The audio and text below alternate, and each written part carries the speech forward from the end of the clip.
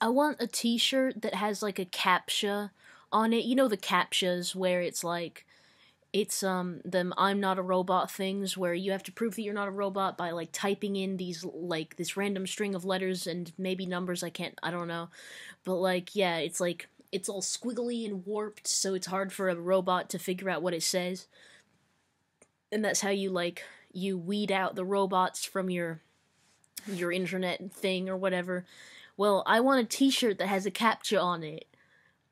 I don't know if I would wear it. I just think that's kind of funny. Maybe this is stupid. It's probably stupid, but I don't care. Bye.